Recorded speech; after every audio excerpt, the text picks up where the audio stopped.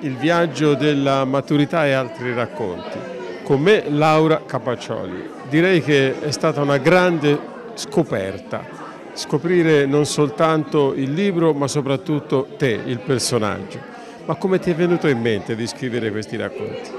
Ma non ho deciso di scrivere dei racconti, eh, quando senti la necessità che ti si creano delle storie in testa, ti sembra di viverle, ti sembra di avere una realtà così nitida che la devi mettere nero su bianco. Poi perché ho scritto dei racconti? Eh non lo so, ho iniziato a scrivere e quando ho finito di scrivere, perché la storia che avevo scritto era completa per me così, avevano la lunghezza dei racconti. Quindi sono racconti nati da delle storie che avevo in testa, dalla realtà che mi circonda, dal, da raccontare il nostro mondo è un po' tutta la nostra umanità in realtà perché hai parlato di 48 personaggi, tutti con nomi completamente diversi l'uno dall'altra. In pratica c'è tutto il nostro mondo. Beh, ehm, il fatto quello del secondo racconto, che è quello più popoloso, non è stato facile né trovare racconti, i nomi né io poi me lo sono dovuti riguardare, mi segnavo appartamento 1 mi segnavi i nomi, appartamento 2 mi segnavi i nomi perché non volevo mettere nomi doppi perché se già con tanti nomi ci mette anche doppioni, ciao. Però, mh, ripeto, come ho detto prima, potevo anche fare, eh, raccontare la storia di un edificio di sei, di sei appartamenti, quindi sarebbero stati meno personaggi, però avevo bisogno di mettere nero su bianco nove perché eh, sono tante piccole realtà in cui ci troviamo a confronto tutti i giorni. Infatti un appartamento all'inizio era anche disabitato perché comunque anche oggi chi è che non è che tutti abbiamo la possibilità di avere casa, c'è chi ce l'ha, c'è chi non ce l'ha, c'è chi è in affitto, c'è chi quindi i personaggi sono diventati così tanti perché nella mia testa avevo voglia di rimettere quello che è la nostra vita. Abbiamo parlato durante la serata di solitudine, di speranza. Che cos'è la solitudine e la speranza? La solitudine è una cosa bellissima, perché io quando sono da sola con la Laura, ragazzi, è una figata, cioè la Laura mi adora, mi rispetta e mi vuole un bene dell'anima e con lei vado sempre d'accordo. Certo, ci parlo, qualche volta anche mi ci arrabbio perché, perché magari vede le cose in un modo e secondo me ci sono anche altri modi di vedere, quindi la metto in discussione, la sfido, però poi analizziamo tutto e ci vogliamo sempre più bene questo è essere da soli, è diverso invece sentirsi soli, quando tu sei con altri ti senti solo è una cosa bruttissima, una cosa tristissima, quindi bisogna discernere fra la, la capacità di stare da soli con se stessi e la capacità di dover convivere con persone che ti fanno sentire sola. E, e la speranza, che cos'è la speranza? Dobbiamo vivere con le speranze perché purtroppo la quotidianità ci fa vivere a un ritmo con tanti obblighi, con tante necessità, con tanti doveri, che tante volte ti prende la rabbia, l'apatia, la, la noia, la, la... però eh, come fai ad andare avanti con il sorriso? Tutti decantate il mio sorriso, ma per forza, perché comunque ci sono talmente tante cose da sperare, da credere, da voler fare. Ecco, io una cosa, credo ho paura di affrontare seriamente l'argomento perché ho dei libri a casa in attesa di lettura, ma io voglio iniziare a credere nella reincarnazione. Perché? Perché io non ce la faccio mica di qui quando morirò, sperando che sia a 99 anni come la mia nonna, a fare tutte le cose che ho in mente. Quindi sono tante le cose da poter fare in questa vita e come le fai? Credendoci, sorridendo, mettendoti alla prova, ma andando avanti con il sorriso. Il terzo racconto ci proietta in un futuro di tecnologia, il mondo tecnologico che però alla fine ha bisogno sempre quell'attimo di nostalgia che ci riporta indietro nel tempo, ci fa ritornare con i piedi per terra perché ci dice che senza il ricordo del passato non si può costruire il nostro futuro. Assolutamente sì e poi eh, il terzo racconto parla di questo mondo tecnologico, io ho messo allora, la verità è questa, l'avevo inizialmente scritto ambientato nel 2140, poi siccome ho un nipote, quello più grande, che è molto più tecnologico di me, gli ho detto Nico, me lo leggi questo racconto? Ah, zia, no, no, no, 2040, già sarà troppo avanti perché ci stiamo facendo prendere troppo la mano, quindi questa cosa la vivremo a breve. Quindi è una realtà che ci troveremo a vivere che come detto, la tecnologia ci aiuta tantissimo, ci facilita tantissimo, ma perdiamo il rapporto umano, il contatto, il dialogo, le chiacchierate. Ma io tante volte quando avevo vent'anni sono stata se tornavo, tornavo, da ballare o da bere qualcosa, fino alle tre in macchina a chiacchierare con le mie amiche. Oggi che fai? Sì, buonanotte, poi va a casa, ognuno da letto ci si manda a cioda su Whatsapp. Ma che tristezza! È un perdere l'umanità, è perdere il contatto, è un perdere le relazioni, è un perdere la conoscenza. Abbiamo conoscenza tecnologica, ma la conoscenza umana la perdiamo. Senti, eh, la nostra vicinanza corporale in questo momento e qui voglio ritornare ad un altro libro che tu hai scritto che poi era la tua tesi di laurea. Ecco, che, che significato ha? Chiaramente una vicinanza in questa situazione significa che abbiamo un rapporto comunque di intimità, c'è un certo eh, feeling, un certo dialogo, una certa vicinanza corporea. Chiaramente tutto cambia se fossimo fidanzati e allora certo. parte il braccio, oppure se fossimo uno stadio. Se sei uno stadio è un concerto, sei ancora più vicino con gli altri perché ci sono delle situazioni in cui il tuo corpo finisce con il tuo corpo, ma nelle relazioni con gli altri, ognuno di noi ha una specie di cilindro, una specie di bolla di aria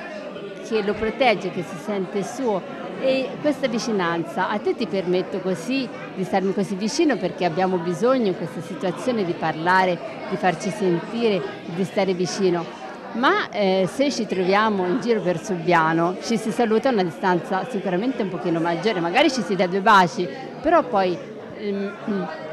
già dal vedere due persone che non conosci in giro e vedi come stanno vicine, se si toccano, se non si toccano, se stanno capisci già il tipo di rapporto che possono avere. Io in questo momento, Laura, rappresento chi sta di là dal teleschermo, cioè il pubblico.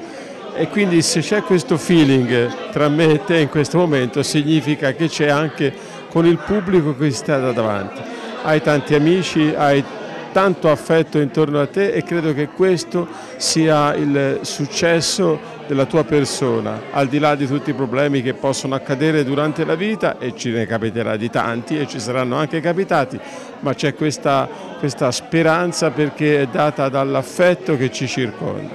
Beh, eh, come dicevo prima, eh, vivo per fortuna in una società, in una famiglia così numerosa, così vicina che io non sono mai sola, a parte che quando sono sola sono con quella Laura di prima, che è quella persona speciale di cui parlavo, però il fatto di avere tanti amici, tante conoscenze, di non essere mai sola è bellissimo perché uscire con gli altri è sempre un divertirsi, un crescere, un relazionarsi, uno scoprire, uno spettacolare, c'è di tutto, insomma ci sono varie situazioni, ma comunque ogni volta che esci, ogni cosa che fai è comunque una crescita, perché anche se una semplice pizza con un'amica, poi comunque torni che sei un po' arricchita dai racconti, dai dialoghi, dalle riflessioni, perché anche se è una sera in cui si chiacchiera dell'ultimo vestito che ho comprato che si fa domani, comunque sono riflessioni che ti porti a casa e ci rifletti, magari nascono altri personaggi per altri futuri libri.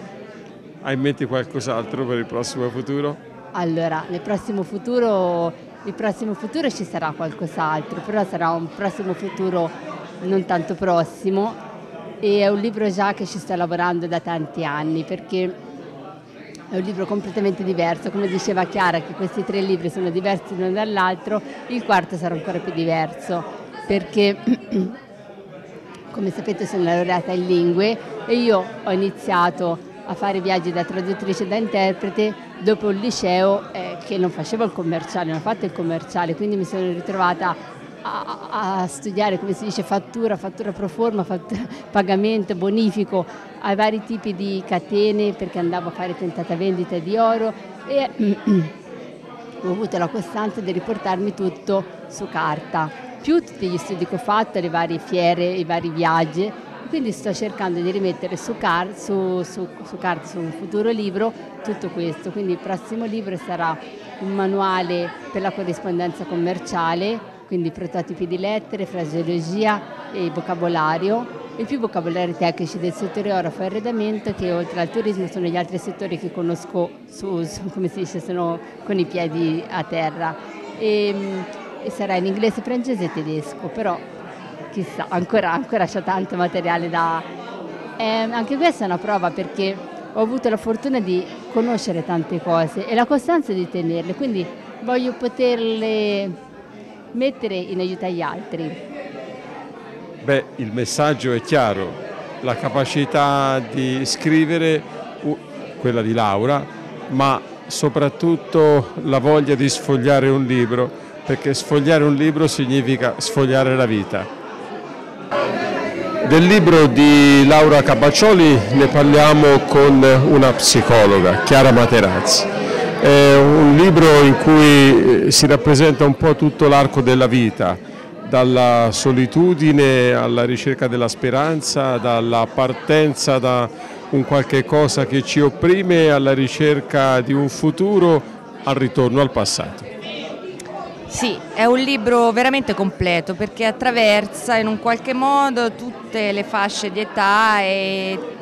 e poi l'arco temporale che appunto rappresenta poi un fondamento della nostra coscienza, no? la presenza nell'essere ora, nel qui ed ora, legata sempre a una nostra memoria storica di ricordi, di vissuti più o meno latenti ma che ci appartengono e poi l'attenzione verso il futuro che è la progettualità che non si blocca mai, non è solo sotto forma della speranza ma che è proprio un nostro modo di essere verso e queste oscillazioni continue, cioè tra la fuga verso la ricerca di qualcosa di sconosciuto, la perdita, il ritorno all'infanzia, eh, la ricerca di, di nuove soluzioni, rende i tre racconti estremamente diversi, estremamente interessanti, ma sicuramente che tutti e tre toccano temi fondamentali per la nostra società postmoderna. C'è un filo conduttore comunque in tutti questi racconti, anche se scritti in epoche diverse, momenti diversi della vita dell'autrice di Laura Capaccioli. Il filo conduttore sicuramente è la ricerca della, della genuinità, cioè la realtà attraverso la conoscenza che passa attraverso un'analisi di se stessi, che è un parlare con se stessi, non un aspetto di andare in terapia per conoscere se stessi, di appropriarsi della vita attraverso il corpo, l'esperienza, il linguaggio, le relazioni, cioè il vivere in mezzo agli altri o nel parlare con se stessa la profondità delle emozioni umane che poi sono alla fine il fondamento di tutto, anche della nostra intelligenza. I personaggi di Laura sono persone normali, con una vita normale, sono però gli eroi del nostro tempo. Sì, perché la normalità è ciò che poi rende straordinaria la vita umana, cioè le persone straordinarie, cioè quelle che verranno ricordate dalla storia, sicuramente hanno un valore, hanno un valore però per chi? Per noi, per la massa passata, presente, futura, che comunque rappresenta eh, appunto nella normalità ciò che c'è di straordinario nella razza umana, cioè tutto quel brulichio di cose, di quotidiano che la rende unica come specie. Chi è il destinatario di un libro come questo, di racconti? Tutti a partire che l'ultimo racconto è perfettamente leggibile anche a un bambino prima di andare a dormire, sicuramente idoneo per la crescita di un adolescente e poi per tutto il resto dell'arco dell'età, perché è leggibilissimo, gradevole, comunque tocca appunto temi e un arco temporale della vita che chiaramente eh, ricopre un po' poi tutte le fasce d'età. Giulio Locatelli, abbiamo un altro anello importante aggiunto questi, ai tanti anelli, a questa collana che la cornucopia sta incasellando eh, giorno dopo giorno, settimana dopo settimana. È vero, eh, questa sera è stata una bella serata, abbiamo avuto un grosso seguito anche di, di persone che sono venute ad assistere a quello che più che una presentazione tradizionale è sembrato quasi uno spettacolo. Abbiamo avuto la musica, abbiamo avuto gli attori di teatro, abbiamo avuto la psicologa e la, la scrittrice che comunque hanno, dato, hanno, fatto una performance fuori da quello che è la, la, la tradizione canonica de, delle interviste. Una bella serata eh, che noi ci proponiamo come associazione La Cornucopia di riproporre con altri autori autori locali e noi li promuoviamo eh, volentieri, Nel, d'inverno siamo oppure diciamo, nel, nell'autunno al coperto, al chiuso, questa sera nella sala del Consiglio del Comune di Subiano. Eh, d'estate facciamo queste, queste operazioni culturali all'aperto e quindi aperti a tutta la popolazione per dare la possibilità a tutti di conoscere i nostri autori locali. È consolante vedere tanto pubblico perché quando si parla di libri non è mai facile un approccio eh, con eh, l'autore magari e con presentazioni come quella che abbiamo fatto questa sera e questo ci consola perché c'è una crescita culturale cui voi, di cui voi siete anche protagonisti. È l'obiettivo principale per cui è nata l'associazione. L'associazione ha proprio lo scopo di diffondere la cultura a 360 gradi a tutti i livelli e eh, per, per, per eh, tutti i tipi di cultura, quindi la musica, eh, la scrittura, la poesia, la, la, pittura, tutto quello che è possibile eh, per far salire il livello culturale. Eh, quando abbiamo iniziato, non tantissimi anni fa, non, non sono ancora due anni, eh, all'inizio po poche persone ci seguivano, poi piano piano la, po la popolazione ha capito che avvicinarsi, avvicinarsi, a queste manifestazioni è piacevole, è arricchente, la bellezza piace, lascia il segno e sempre di più il seguito aumenta e questo ci riempie di soddisfazione. È quasi un gioco, avete cominciato anzi per gioco, facendo giocare nella cultura e, saliti, siete saliti di tono perché stasera davvero abbiamo toccato un, un vertice veramente notevole. Sì, eh, abbiamo anche un, diciamo, già un programma per l'anno prossimo che di massima sarà un programma dove punteremo molto alla qualità. Eh, ci sono degli eventi che ora non sto a svelare ma veramente di livello, eh, si parla di livello regionale più che provinciale, quindi probabilmente quelli che sono le nostre, le nostre, eh, i nostri eventi a cadenza mensile ci saranno sempre, le camminate, le mostre, però spiccheranno due o tre eventi di, di notevole livello perché crediamo che, eh, di essere arrivati a un, a un momento tale da dover fare proprio il salto di qualità. Una serata come questa, Nicoletta, Nicoletta Bruno è l'assessore alla cultura del comune di Subiano, eh, ci riconcilia un po' con tutti noi, con il mondo, con le tante eh, brutte notizie che ci sono in giro. Ecco, stasera abbiamo parlato di speranza con eh, la nostra autrice del libro che lei ci ha presentato e siamo direi molto soddisfatti. E credo anche come amministratrice comunale eh, tu possa portare davvero un, qualche cosa di positivo al tuo carniere. Sì, questa sera è stata una serata bellissima con tante persone che sono state eh, veramente coinvolte nella presentazione di questo libro sia da Laura che da Chiara. E in particolar modo è venuto fuori l'umanità è quella che si sta perdendo con questa tecnologia con eh, quasi il perdere le vere cose, quelle che hanno il più significato della vita. Ecco, Laura eh, ha una sensibilità particolare, è riuscita a trasmettere con la sua presentazione del suo libro che invito tutti a comprare e a leggerlo perché anch'io eh, mi voglio emozionare proprio sfogliando le pagine del, del libro per prendere proprio contatto con la carta e scoprire ogni pagina quello che, che, che verrà dopo. Quindi lei è riuscita con la sua sensibilità, come dicevo, a coinvolgersi nel suo mondo, con tantissimi personaggi e eh, ritornando e far venire fuori anche quella fanciullezza che tutti noi dobbiamo comunque mantenere, perché questo è il bello della vita, la normalità e la gioia che hanno e la genuinità che hanno i fanciulli nello scoprire le cose, nello scoprire le novità. Un messaggio anche di speranza che lei porta avanti e che eh, è eh, sicuramente eh, toccata da anche da quello che ha vissuto nella propria esperienza personale. Ecco, ringrazio veramente Laura, ringrazio la Cornucopia che anche questa sera ha permesso nella sala consiliare che è il posto più rappresentativo del comune di Subiano di avere la presentazione di questo bel libro e grazie a te a Virgilio perché, per la tua presentazione perché anche le tue parole eh, sono importanti e ci hanno emozionato. Grazie Nicoletta, aggiungo soltanto una cosa, che al di là della bellezza di quello che ha scritto Laura, quindi della, del libro eh, che tutti noi ci apprestiamo, io l'ho già letto due volte, pensa un po', ecco, ma direi che stasera il protagonista è stato proprio lei, Laura. Sì, Laura, Laura anche eh, amica di se stessa, che ha riscoperto anche il valore di stare bene con se stessa, da soli con se stesso. Quindi la solitudine che non è vista come un qualcosa di brutto ma come un qualcosa di positivo e di scoperta pro delle proprie passioni, dei propri interessi, interessi e passioni che lei eh, riesce a portare avanti tutti perché è pittrice, scrittrice, eh, sa benissimo le lingue, quindi Laura Capaccioli è ecco, una donna del nostro territorio, una donna giovane, una donna dalle grandi capacità. Ecco, questo bisogna, fa onore al suo paese, fa onore naturalmente anche ai suoi genitori che hanno contribuito a farla diventare la persona che è